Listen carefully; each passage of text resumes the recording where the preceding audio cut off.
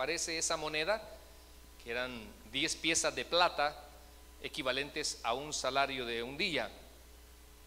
Luego venimos entonces viendo la del hijo pródigo, que es el clímax, porque ya no, ya no lo ilustra a través, de un animal, ¿verdad? Que es bien, bien complejo decir que voy a dejar 99 por ir a traer una, y luego pues una moneda que tal vez no tenía valor para muchos a simple vista, pero para esa mujer sí, creen algunos que es, era parte de una dote, ¿verdad? De la manera simbólica de una dote como las arras que nosotros conocemos, y para tal vez otros no tenía valor, pero para esa mujer sí, representando el valor que también tenemos para Dios.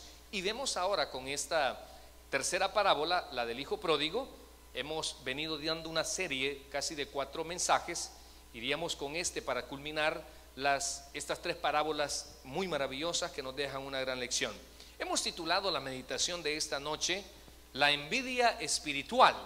La envidia, diga envidia por favor la envidia espiritual. Lucas capítulo 15, versículos del 25 al 32. Leemos la palabra en el nombre del Padre, del Hijo y de su Espíritu Santo. Y su hijo mayor estaba en el campo y cuando vino y llegó cerca de la casa, oyó la música y las danzas y llamando a uno de los criados le preguntó qué era aquello. Él le dijo, tu hermano ha venido y tu padre ha hecho matar el becerro gordo por haberle recibido, eh, por Padre hecho Mateo Gordo, por haberle recibido bueno y sano. Entonces se enojó y no quería entrar. Salió por tanto su padre y le rogaba que entrase. Mas él respondiendo dijo al padre, he aquí tantos años te sirvo y no habiendo desobedecido jamás, y nunca me has dado ni un cabrito para gozarme con mis amigos. Pero cuando vino este tu hijo, que ha consumido todos tus bienes con rameras, has hecho matar para él el becerro gordo. Entonces le dijo, hijo, tú siempre estás conmigo y todas mis cosas son tuyas. Mas era necesario hacer fiesta y regocijarnos, porque este tu hermano era muerto y ha revivido y se había perdido y es, y es Vamos a orar. Padre, en el nombre de Jesús, te pedimos que esta noche los que estamos acá tengamos la capacidad de darle vida a cada uno de estos versículos y aprender de ellos, Señor. De regocijarnos igual que el Padre con aquel hijo que había perdido, Señor, cuando veamos que un pecador se arrepiente, tanto siendo inconverso o como creyente que quiera enmendar su vida. En el nombre de Jesús te damos las gracias. Amén y amén. Podemos tomar asiento. Hemos titulado la meditación La envidia espiritual. Hermanos, quisiéramos que con este mensaje puedas identificar si en tu corazón existe la, envidia en el obrar de Dios. Quisiéramos que usted y yo podamos reflexionar si en lo muy profundo de nuestro corazón tenemos envidia. Tenemos envidia mis amados, del obrar de Dios. Yo sé que a su, a su óptica hay muchas cosas que no deberían de ser, porque usted y yo las analizamos desde una perspectiva y no desde el plan divino del Señor. Y quisiéramos pues que con esta, con esta meditación pueda usted reflexionar si a usted se lo está, lo está influenciando demasiado la envidia cuando Dios obra en aquellos pecadores que Dios les da una oportunidad para un verdadero arrepentimiento.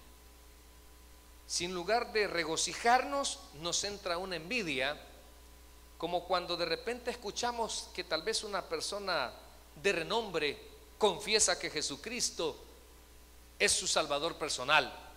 Y algunos dicen, por ejemplo, tal vez esté en la cárcel. Ah, porque está en la cárcel, le ha buscado. Yo creo que otros, de repente vemos un político que busca de Dios. Tal vez en, campaña llega a una iglesia de renombre y se para y uno dice, ah, ¿por qué quiere el voto de los cristianos? Pero por lo menos entró a la iglesia y escuchaba el mensaje, hombre. Pero nosotros, como tenemos una mente, una, mente, bueno, una mente topada iba a decir ya, pero no, una vista tan corta, ¿verdad? Que, definitivamente muchas veces nosotros, cuando Dios obra en esos pecadores para que se arrepientan, nos llena de envidia.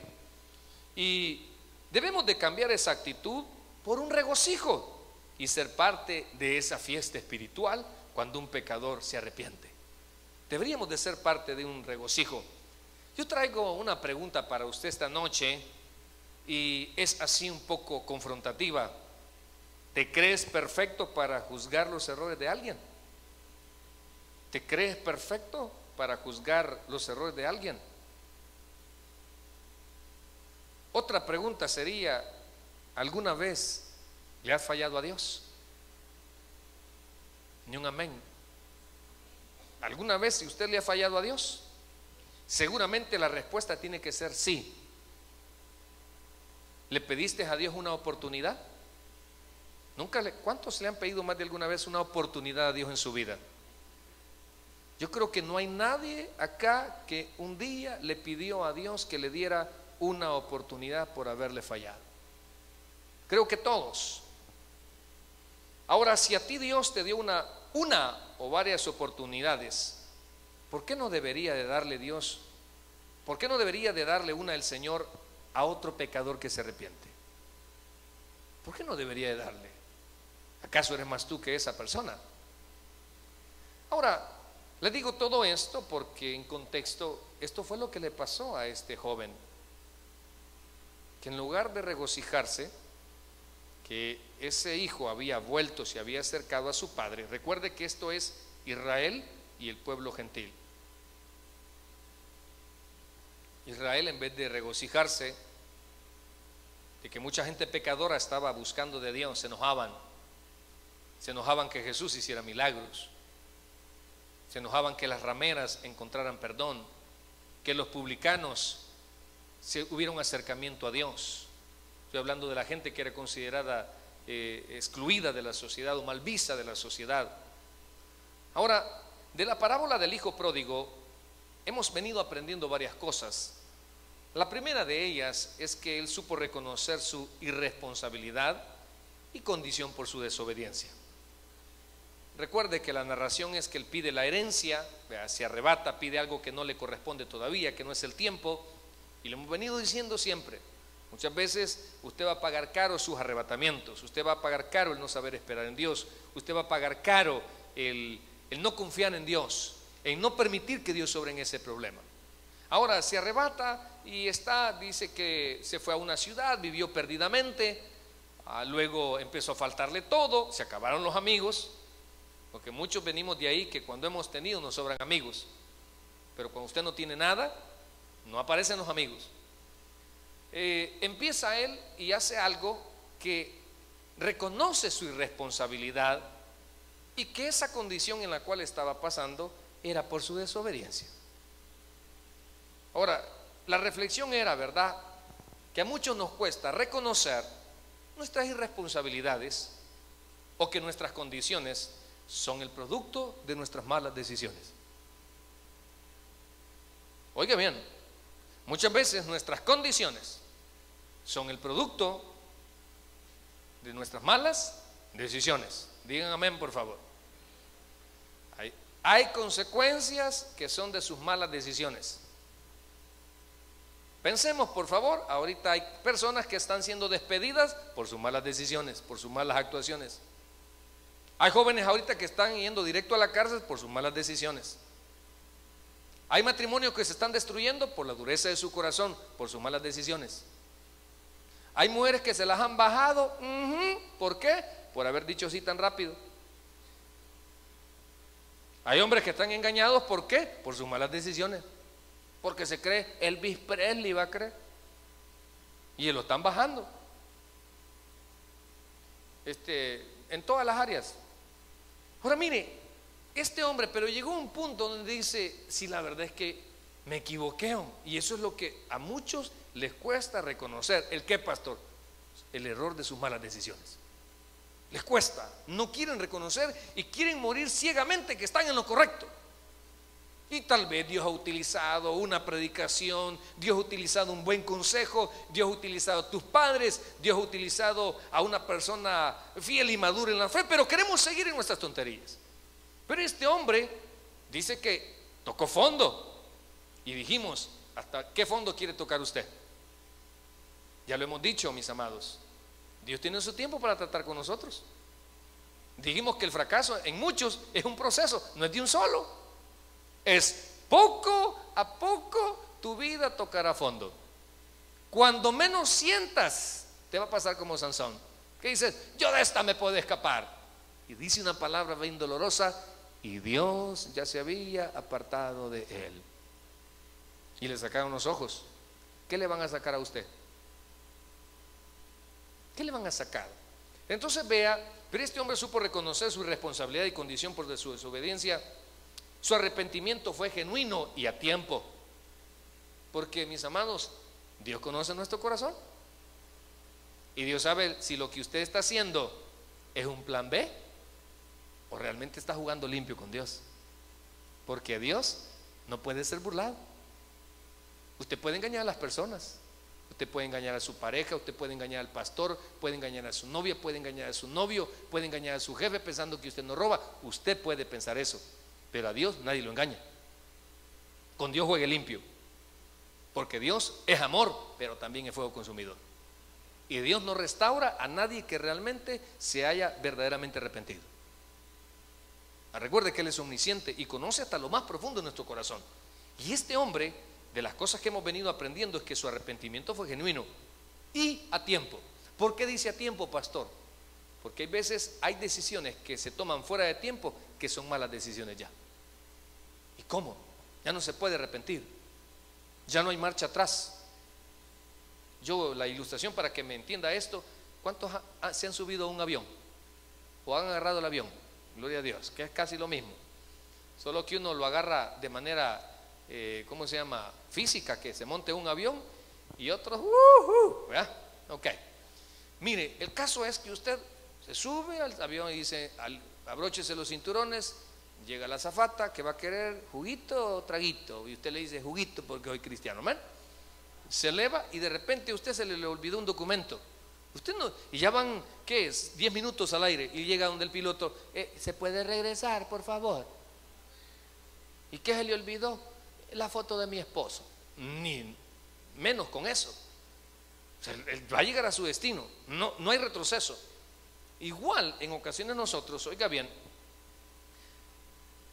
hay gente que tuvo la oportunidad de arrepentirse, que tuvo la oportunidad de recibir a Cristo como su Salvador personal y sabe, perdóneme, ahorita está en el infierno, porque su, su arrepentimiento no fue a tiempo. Ahorita están lamentando toda una eternidad no haberse puesto en pie, no haber confesado que Jesús era el camino, la verdad y la vida y que Él podía perdonar sus pecados. Si están arrepentidos, no pueden. Creo que más de alguno acá ha pasado por ahí donde ya no tiene efecto su arrepentimiento. Ya las cosas ya cambiaron. Ya usted ya no las puede retroceder. Ya hubieron decisiones. Esta semana yo he tenido que tomar tres decisiones bien importantes y que no voy a retroceder para ellas. No las voy a retroceder. Ya las cambié dije yo, ya oré, ya le pedí paz al Señor, le pedí confirmación y no la voy a cambiar. Aunque tenga un costo, no importa, pero tengo que hacerlo. Ahora, pero eh, ahora, eh, pero tiene que ser a tiempo. A tiempo. Este hombre se arrepintió, pero su arrepentimiento fue a tiempo. Su arrepentimiento fue a tiempo. Ahora, si de luego Dios te ha traído y que estés en esa silla, Dios de alguna manera quiere cambiar tu vida, si tú te lo permites. Todavía estás a tiempo. Todavía estás a tiempo. Ahora vea, ¿qué pasó con este arrepentimiento genuino? ¿Qué halló delante de Dios? Gracia. Gracia. No sé si usted ha leído en el libro de Romanos que dice que donde abundó el pecado, sobreabundó lo que no vamos a entender nosotros. Lo que no vamos a entender. La magnitud del amor de Dios no lo podemos entender. No lo podemos entender. Yo no sé cuántos aquí son papás alcahuetos. Yo soy alcahueto. ¿Dónde es? Con mi hijo y las, ¿cómo se llaman? Las muchachas estas de hijas mías. yo soy alcahueto. Me hacen y yo me enojo, porque sí me enojo. Yo guardo y me distancio y yo no hablo. Ya cuando me pasa el enojo, ya me dice mi hijo, mira, te quiero y sos especial para mí. Y al final dame 300 dólares y se lo suelto. Y digo yo, qué barbaridad esto. Y tengo una hija que ayer en el domingo terminó bien noche el culto, nos fuimos ya las nueve y media. Y mi hijo, yo sé que no me hablan solo para esto, pues.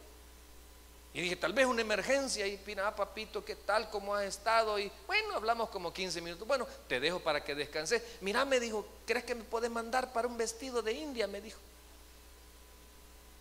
para eso era la llamada.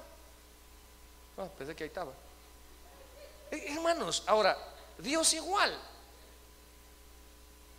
Pero Dios va a dar de su gracia en tu vida si lo convences que te has arrepentido de tus malas acciones.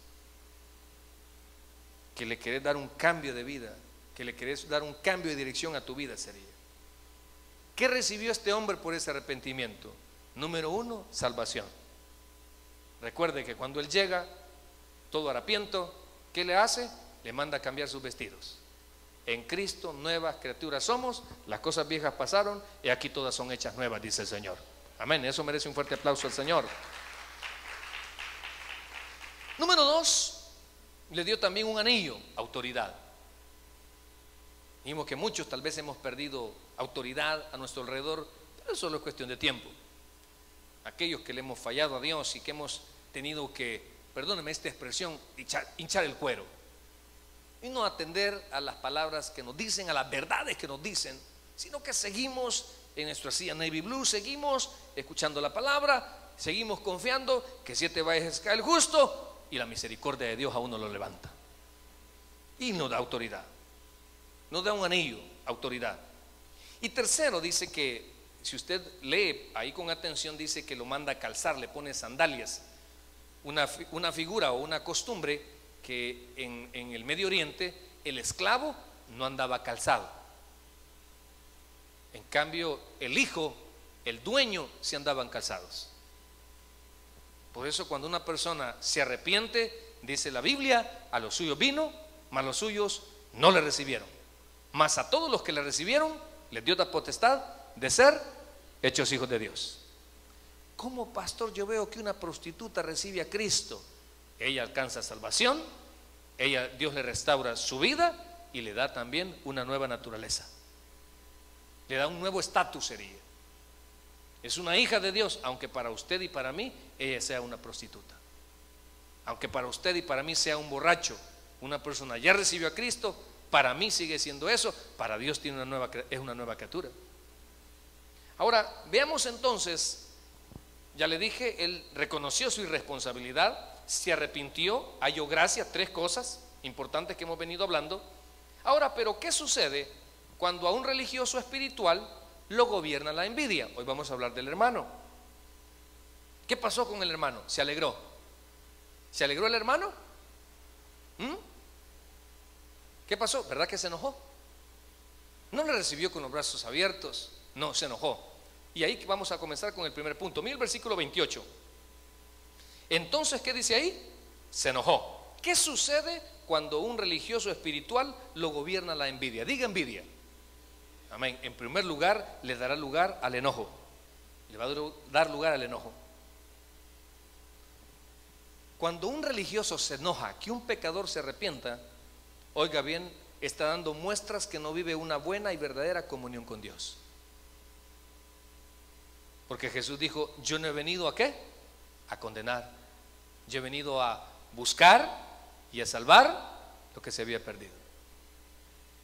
Solo aquellos que un día hemos reconocido que le hemos fallado a Dios y, hemos, y que hemos encontrado en Él la restauración, entendemos que Dios nos ama. Pero el religioso no entiende esto.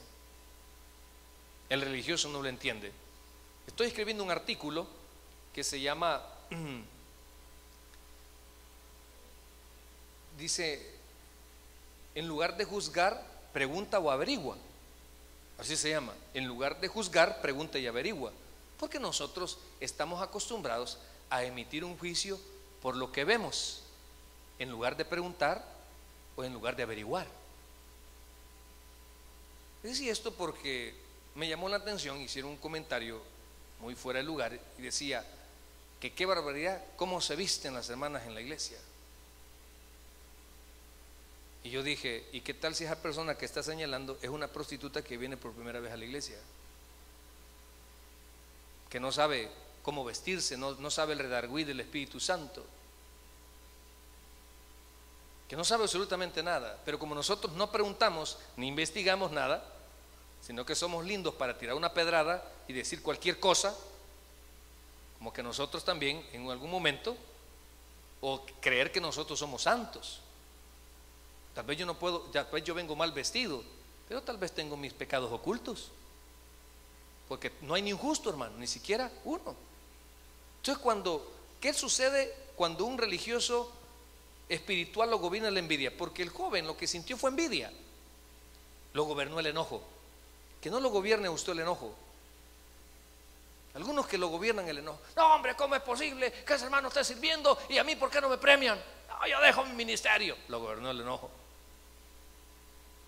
lo gobernó el enojo. Porque hay cosas que molestan o no. ¿No que molestan? A mí hay cosas que me enojan. Me enojan. Yo soy honesto. Yo casi no soy indio, pero cuando me enojo, doblemente indio. Me enoja, pero igual. Pero una cosa es enojarse y otra cosa es que te gobierne el enojo. De cosas que tú vas a ver. De cosas que no te van a parecer, pero que no te gobierne el enojo. Ahora mira,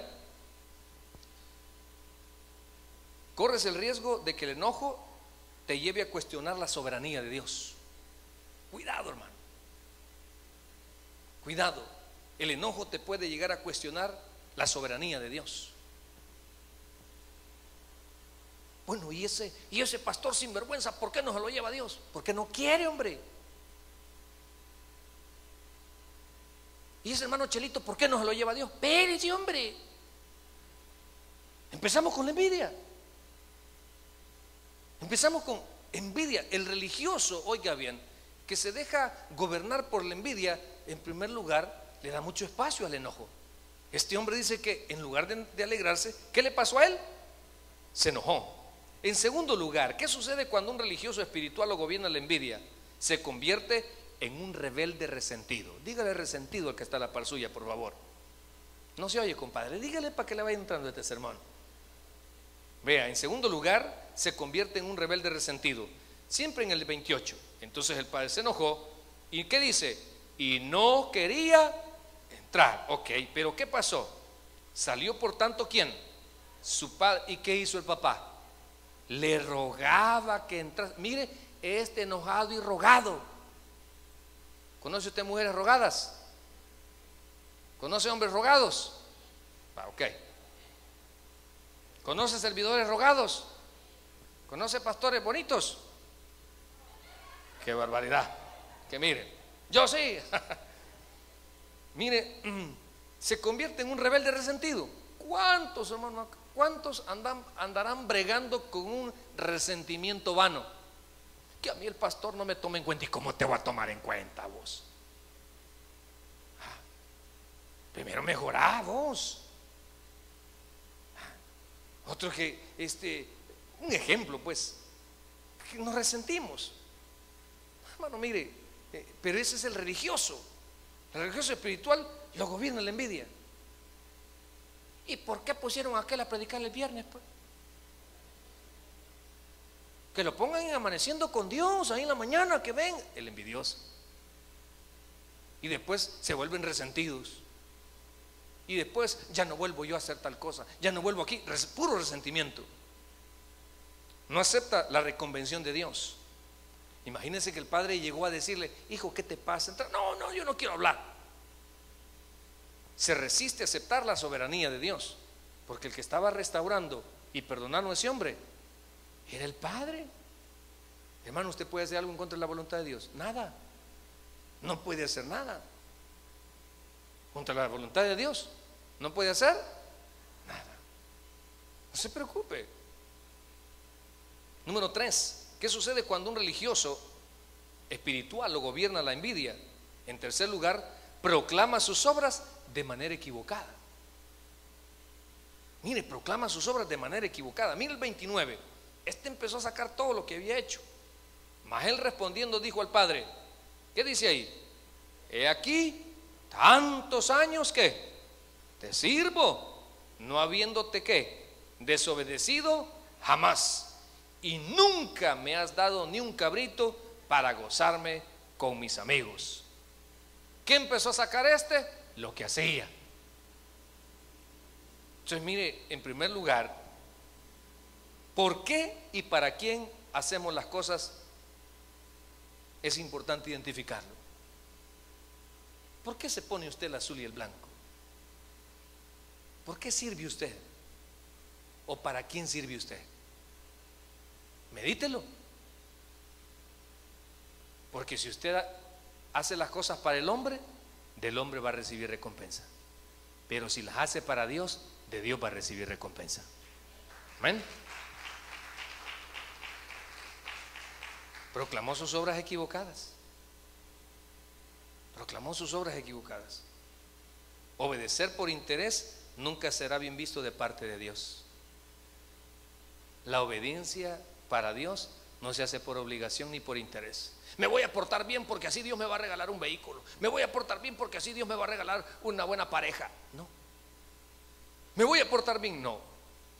Usted y yo nos portamos bien porque así honramos al Rey de Reyes y Señor de Señores. Amén. Por eso lo hacemos. No se trata de que qué me va a dar Dios. No, no es un interés. A mí me encanta la expresión del pastor general. Nosotros vivimos para el Evangelio, no del Evangelio. Ha sido una hermanita esta semana que lava los baños. Pastor, va a creer que por ahí me andan diciendo que, que yo me robo los papeles higiénicos de la iglesia. Y mire, pastor, yo traigo mis, mis, líquidos, eh, traigo mi marihuanol 500 y todo eso que ayuda, me dijo, a limpiar rápido. Y ahí me andan diciéndome, y, me, molesta porque yo en lugar, en lugar de quitarle a la iglesia le doy, me encantó esa parte. Cuando venimos, no a ver qué sacamos, sino a ver qué le damos al reino. Precioso eso. Qué precioso. Pero cuando nos enojamos, empezamos a sacar. Sí, yo ahí estuve con el pastor subido poniendo un drywall. Yo soy de Perú, ahí estuve. Ah, no estoy para quién hacemos las cosas. Sí, solo yo voy a traer hermanos y nadie me ayuda. ¿Para quién hace las cosas? Sí, solo yo barro y aquella solo ordena. Ah, dígale que le ayude. O sea, empezamos nosotros, ¿para quién hacemos las cosas? Es importante. Porque cuando tú veas que Dios está perdonando, está restaurando, está bendiciendo a alguien, cuidado y tu cristianismo no es verdadero, sino que es religioso y te enojas porque Dios perdone un pecador. Mira, este hombre, cuando se enojó, cuando se convirtió en rebelde resentido, proclamó sus obras de manera equivocada. Y número cuatro, para terminar, ¿qué sucede cuando un religioso espiritual lo gobierna la envidia? Nunca es capaz de comprender el gran amor de Dios. Nunca. El religioso no sabe que Dios en esencia es amor, que el conocimiento envanece y el amor edifica. No comprende eso, no lo asimila, no lo asimila. La razón humana no entendemos el amor de Dios, no lo entendemos. Nos gusta juzgar, nos gusta opinar sin darle espacio al Espíritu Santo en nuestras vidas. Lo que voy a decir realmente es, hasta cierto punto es vergonzoso, pero en ese momento yo sentí que Dios me dio paz y tuve que hacerlo. Estábamos con el pastor Boris en nuestro país, en un lago llamado Lago Ecuatepeque.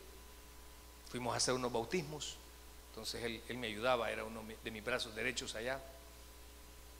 Y siempre al final de cada bautismo decimos, si alguien quiere bautizarse, puede hacerlo. Y había ido con nosotros aquellos hermanitos que de vez en cuando la agarran ¿Conoce usted alguno? Vea el que está a la par Si lo saluda y le hace así es porque has echado un paro, oiga. Mire, y este, dije yo, si alguien quiere, siente en su corazón bautizarse, este es el día. Y salió nuestro hermanito, y que antes se podía parar y decía, yo quiero. Y yo me hice como el sordo, vea. Bueno, ya terminamos. No, yo quiero, ya terminamos. No oigo, soy de palo, tengo orejas de pescado, dije. Y me dijo el pastor Boris, mira, ya está el hermano Israel, te está diciendo que quiere bautizar. Pero mira cómo anda, le dije yo. Que no es correcto, no es correcto. Pero mira cómo ándale. Y entonces le dije, anda a preguntarle por su salvación, le dije. Y el agua no llegaba hasta aquí. Y empieza a salir el pastor Boris allá, saliendo del agua. Y llega y le pregunta, mire, usted se me iría ahorita dónde iría.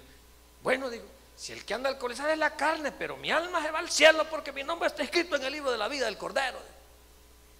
El alcohol no le llega al alma, digo. Y si me condeno yo así, que se condene mi suegra también, dijo él, por mala. Mire, buena comparación. Y se mete el pastor Body. Me dice, mira, dice que está seguro que salvo. No, pero yo no lo voy a bautizar. Y allá en la orilla, hermanos, dijo estas palabras. Y si me muero mañana, dijo.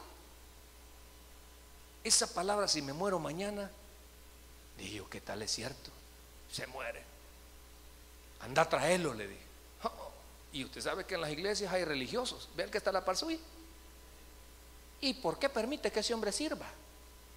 ¿Y por qué permite esa hermanita así? Mira la falda que anda toda socadita, ¿ve? Hay religiosos. Hay religiosos. Mira la Evelyn Castro, ¿ve? Y empezamos. Y, yo vi el rostro de muchos. Yo vi que me empezaron a criticar. Pero me la jugué. Sentí que Dios me dijo, tenés que hacerlo. Y lo bauticé. Sepultado con Cristo, yo lo quería dejar sepultado, fíjese. Y dije yo, levantado una nueva vida, sáquenlo, denle un café y que le pase la zumba a este maestro, dije yo. Y estando allá afuera, y abrazándome, como ahí ve que vos lo vuelve bien cariñoso, ¿va? pastor, yo lo quiero, me quiero casar con usted. Con el tiempo, mis amados, este hombre se, ha vuelto un ministro de alabanzas. Y cada vez que nos vemos, me dice, pastor, ¿se acuerda cómo me bautizó? Cállate, ni me lo recordé, le dije yo. Que yo creo que el huelgo me puso a mí algo loco también para que hubiera hecho eso. Fíjese que Seguramente todo eso que le digo de manera burda, que causa algunos tal vez incomodidad, pero qué bonito es cuando un pecador se arrepiente. Bueno, qué bonito es. Y si allá en el cielo hay fiesta, ¿por qué no debería de haber fiesta aquí en la iglesia? ¿Por qué no deberíamos de cambiar esa religiosidad vana que tenemos? Que en vez de andar juzgando, no estoy diciendo seamos tapadera, no digo que debemos de tolerar el pecado de alguien, celebrárselo, pero hay que decirle que se arrepienta y que Dios le está dando una nueva oportunidad. Démosle un fuerte aplauso al Señor, mis amados, vamos a orar. Bendito Dios que estás en los cielos, queremos darte las gracias por la oportunidad que nos diste de podernos congregar. Ahora que has escuchado el mensaje de la palabra y Dios ha tocado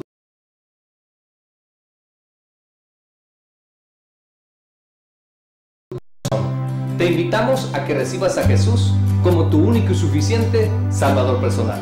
Repite después de mí esta oración. Cierra tus ojos. Señor Jesús, yo te recibo hoy como mi único y suficiente Salvador personal. Creo que eres Dios, que moriste por mí en la cruz por todos mis pecados y que resucitaste al tercer día. Gracias doy al Padre por haber enviado a su Hijo a morir en mi lugar.